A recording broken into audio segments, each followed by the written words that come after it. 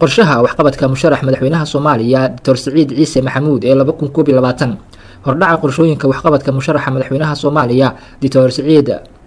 Waxaan u mahad celinayaa cid kasta oo danaynaysa inay adeegsato fikradaha ka dhex buuxa warbixinadan urursan oo aan ku soo gaabiyey ka hadalka mowduucyo kooban. Oo aan u arkayay inay waxtar u leeyihiin soo bandhigideeda ku habboon xilli doorasho uu dalku u baahan yahay isbeddel siyaasadeed inuu ka dhaco waxyaabaha aan ku soo qaadayo warbixinada aan uga hadlayo faahfaahinta qorshahayga waxqabadka waxaa ka mid ah aqoonsiga loo baahan yahay in lagu xusuusto sooyaalka dalkeenu uu soo maray jiritaankiisa uu maanta ku yahay jamhuuriyad madax bannaan qayimka ay leedahay madax bannaanida dowladnimo iyo dadka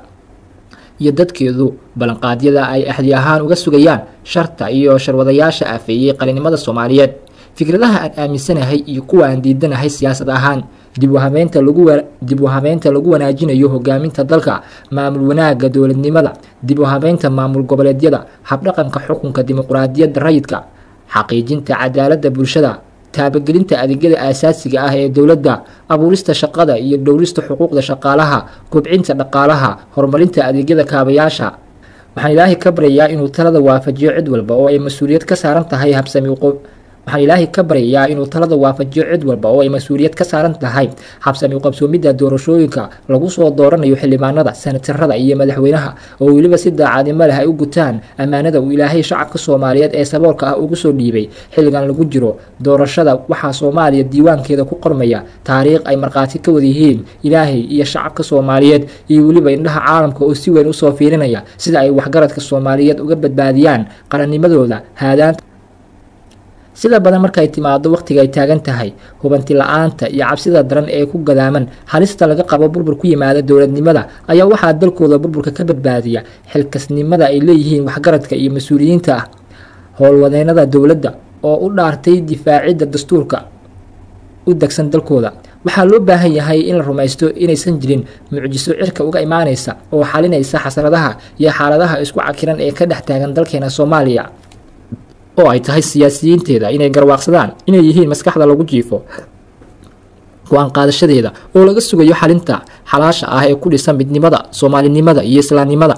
Waxaan qof kasta oo ku jirta xilkaasnimo soomaaliyeed aan u soo jeedinayaa inay istamarnimo indhahooda ka laaban oo aysan ka aamusin dulmiga sida cad uga dhacaya dalkooda. Dulmigaas oo waxyeelada xididadiisu ay ka soo maaxanayso sharta haligtay dalkeenna iyo adeegayaasheeda sharwadayaasha. Maxaa yeelay ka aamusnaanteedu waa hiilo taageeraysa waxyeelada dulmiyada aafeeyey jiritaanka dowladnimada. Diidmadeennu waxay cod dheer damaanqaad uga tahay inuu dhammaaday xilligii awoodda kelitarisnimada laysku indarsarcaadinayay waxaan maanta oo kale looga baahan yahay siyaasiyiinta madaxa bannaan inay shacabka u muujiyaan foojignaantooda ay ku cabirayaan dareenka ay u hayaan jacaylka ay u qabaan dadkooda dalkooda iyo diintooda oo ay ku xaqiijiyaan ka badbaadinta dalkooda halista maanta soo food saartay jiritaankiisa. Maxaa yeelay dabagal iyo rajo dambe midnaba ma lahan marka qarankeenu galo qabri mugdi oo uusan ka bixi karin. Aqoonsiga halganka soomaalida.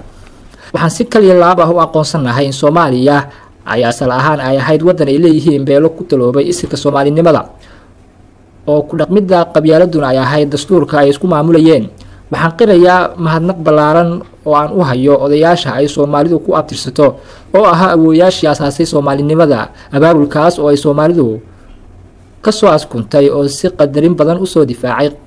qarniyaal badan dhulka badaha webiyada iyo kheyraadka dabiiciga ah ee uu leeyahay dalkeena maanta loo yaqaano soomaaliya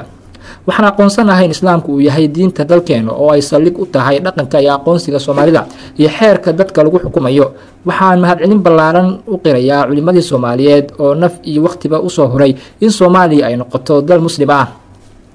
Waxaan sidoo kale aqoonsanahay in xukunkii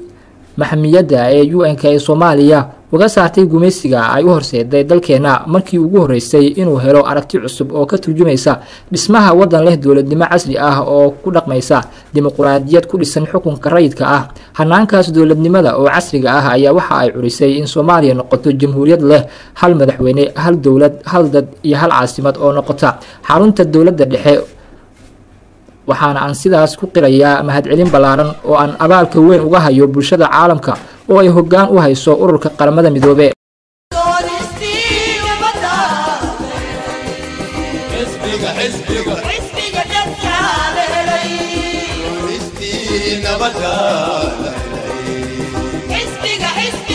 Helay aqoonsannahay mudaharaadku yahay astaan wadanideed oo taariikh ahaan ay ahayd aaladii ugu weyneed oo loo adeegsado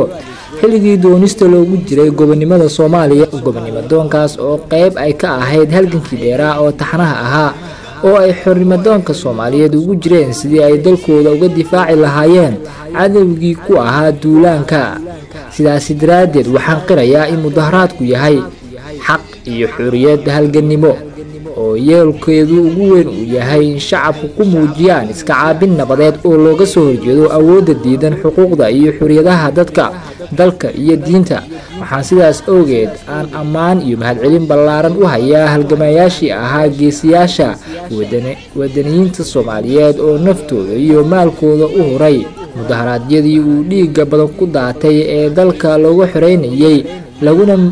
mideynayay ummadda soomaaliyeed halgamayaashaas oo ay waxyeelo aan la qiyaasi karin ka soo gaartay dagaalkii xaqa ahaa oo ay ku doonayeen gobonnimada iyo ismaamulidda madaxa bannaan ee qarannimadii soomaali weyn taas oo beddelkeedu ay ugu dambayntii dhagax tuuradii dhacay kun iyo sagaal boqol iyo kontameeyadii ay ku curatay jamhuuriyadda soomaaliya. Waxaana xusid mudan in halgamayaashaasi aysan intooda badan ahayn kuwa haystay dhaqaale qoon iyo darajooyin waaweyn oo ay bulshada ku dhex lahaayeen. Waxaana xaqiiq dhabka hadal noqotay in halgamayaashaas intooda soo gaartay madax bannaanida jamhuuriyadda soomaaliya inaysan wax maamuus ama mansab ah aysan ku helin. Goobanimadii ay u soo halgameen. Waxaan aqoonsanahay in jiritaanka soomaalinimada ay soo food saareen. Marar badan sharar dumisay qarannimadooda oo ay uga soo gudubtay dhabar adeegnimo kadibna ay ka soo kabatay waxyeeladoodii waxaana caqabadaha sharta badnaa ee xiliyadii kala duwanaa soo food saaray ka mid ahaa gumaysi iyo xukun fashiisnimo addoonsi iyo adeegsi xuquuq la'aaneed dagaalo sokeeye iyo kuwo shisheeye digtaatoriyad iyo xukun shuucinimo qabyaaleed iyo xukun federaalnimo xagjirnimo iyo xukun wadaninimo iyo xasuuqa covid nneteen iyo burbur dhaqaale. Waxaana si weyn uga mahad celinayaa hogaamiyaashii jiilashii hore ee soomaaliyeed oo sida isdabajooga ah ula dagaalamay sharta iyo sharwadayaasha. Waxa ayna iska caabintaas joogtada ahayd ee soomaalidu ka dhigtay mar kasta inay yihiin halgamayaal xilli kasta u taagan difaacidda dalkooda. Sidaasi daraaddeed ayaan waxaan si gaara mahad weyn uga hayaa madaxweynayaashii soomaaliyeed ee soo hogaamiyey dalkeenna oo dhibaatooyin aad u badan kala soo maray. Ka keenista meel aad u fog oo aad u dhib badan madaxweynayaashaas oo u soo dhabar adeegay soo gaarsiinta jiritaanka dowladnimada soomaaliya meesha ay maanta joogto oo ay sii wadadeeda ay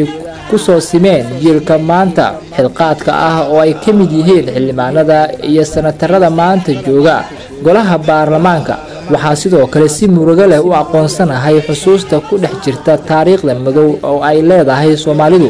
oo sababta u ahayd sida cadaalad darrada ee loola dhaqmay qeybo ka mida shacabka soomaaliyeed oo siyaabo kala duwan bulshooyinka dhexdooda si liidasho ah loogu dhex takooray oo weliba loo soo heebsoocay qarniyo badan uursigaas iyo xaqiridaas oo ay waxyeelo joogtaha ka soo gaartay jiilal aad u badan oo ka mida bulshooyinka la duusiiyey xuquuqdooda sinaaneed. Waxaana si tiiraayo leh uga raaligelinayaa xumaanta baaxadda weyn leh oo loo geystay dad soomaaliyeed oo aan mudnayn in meel ka dhac loogu geysto heybtooda ay isir ahaan uga soo jeedaan abtirsiga beelahooda. Waxaana cod dheer ugu sheegayaa bulshooyinka heybtooda ku dulman inuu dhammaaday wakhtigii quursiga xaqiridda iyo kala saraynta oo ay si rasmi ah u dumeen kaabayaashii ay ku tiirsanaayeen. Intii aan xoojin lahayn midnimada iskaashigeenna ayaa waxaa door bidnay inaan xoojinno khilaaf aan dhammaad lahayn oo si weyn noo kala qeybiyey intii aan si wallaannimo leh awooddaan isku sii lahayn ayaa waxaa nala qumanaatay is-cadaaweysi nacayb badan. Intii aan samayn lahayn xiriir buundooyin u noqda dadkeennii kala dhoobay ayaa waxa aan garasho ku gaarnay in aan derbiyo dadka dhexdooda dhigno. Intii aan maalgelin lahayn dhismaha ciidan qaran oo si dhammaystiran u gudan kara u adeegidda xilka waajibaadka qaranka ka saaran ayaa waxaa gabaad bidnay amni ilaalinta ciidamo shisheeye oo u badan ciidamada deriska ah oo cadowtooyadu nagala dhexayso joogitaanka ciidamada shisheeyaha ah oo lagu xasuuqayo balaayiin doolar oo magaca ummadda soomaaliyeed kaalmo ahaan loogu soo yaboohay intii aan ciidankeena milatariga ah halista dagaalyahanimadooda aan u jeedi lahayn la dagaalanka waxyeeleynta xagjiriinta dagaalka kula jira dowladnimada soomaaliya ayaa waxa ay talaxumadeynana tustay inaan ciidankeena wadaniyiinta ah oo ku labisan calanka soomaaliya aan u adeegsano sidii ciidan maleeshiyaad ama booliska wax loogu caburiyo ciidankaas oo walaalahood soomaaliyeed oo rayidka ah argagax iyo cabsigelin isugu daraa si ay xoog ugu burburiyaan mudaharaadyadooda ay sida nabadda ah u qabsanayaan. Intii aan ka faa'iidaysan lahayn korarka iyo kobaca dhaqaale ee ka jira gobolka qaliijka oo aan daris xigeennahay oo ay ku bahoobeen waddamada hodanka ku ah batroolka ayaa waxaa maslaxad muudnay qabweyni aan caqli wadan. Qabweynidaas ku dhisan doqonnimada ayaa waxay abuurtay cadowtooyo bedeshay xiriirka saaxiibtinimo ee nagala dhexeeyay waddamadaas oo walaalnimada ku dhisnaa. Waxa ayna qabweynideenna dhalanteedka ahayd ay dhalisay. Ciqaab keentay burbur dhaqaale oo ay u geysatay ganacsigii xoogganaa ee soomaalida kala dhexeeyey waddamadaas waxa ayna habdhaqankaas aan wanaagsanayn ku qasabtay. Saaxiibadeennii aan iskaashiga la lahayn wakhtigii dheeraa inay naga fogaadaan oo ay taas beddelkeed kuu sii dhowaadaan cadowgeennii soo jireenka ahaa. Intii aan ku dadaali lahayn kaalmaynta iyo wanaajinta horumarinta dadka soomaaliyeed ee dhulkooda kula hoos nool etoobiya iyo kenya oo inta badan lagu waxyeeleeyo soomaalinimadooda iyo islaamnimadooda awgeed ama sida shacabka reer jabuuti kaligitalisnimo loogu caburiyo xuquuqdooda iyo xuriyaddooda ayaa waxaan wanaag u aragnay inaan garibstaag u sameyno kuwii shacabka walaalaheen waxyeeleynayay ama aan ka shaqayno in qaar ka mid ah ama aan ka shaqayno in qaar ka mid a dalalkaas aan u muujino cadowtooyo si aan ugu caraadinno oo aan ugu waxyarinno